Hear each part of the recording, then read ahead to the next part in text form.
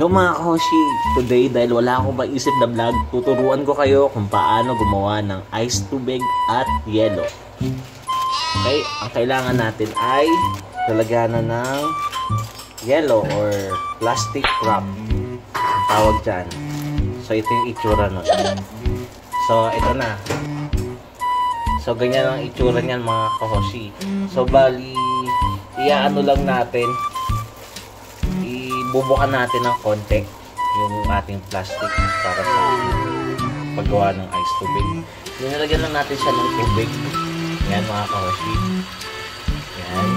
Tapos kapag medyo puno na siya, ganyan, adjust-adjust lang natin.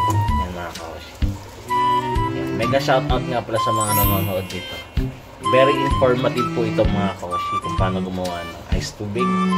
At higit sa lahat, mga kahoshi, uh, bentang-benta to kasi pwede nyo itong ay ibenta pala mga koshi. Pwede nyo ibenta ng 5 piso tapos pag ice tubig naman pwede nyo ibenta ng 3 yan mga koshi.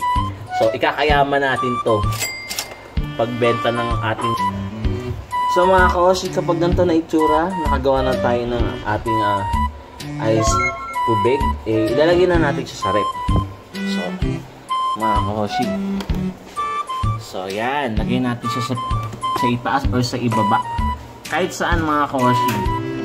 So, after nyan, nagpa, ano na ako, gumawa na ako ng